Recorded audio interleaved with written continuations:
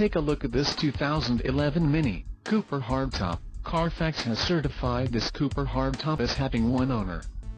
This Cooper hardtop has just under 18,500 miles. For your protection, this vehicle has a factory warranty.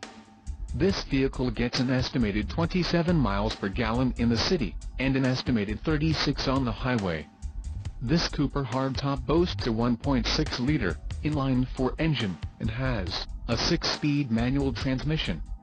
Additional options for this vehicle include the 6-speed manual Getrag transmission, standard paint, 17 inches x 7.0 infinite stream spoke alloy wheels, universal garage door opener, white bonnet stripes, white top, auto-dimming rear view mirror, center armrest, piano black interior trim, Bluetooth mobile phone and USB iPod adapter, ice blue, carbon black, leatherette seat trim, premium package and the sport package.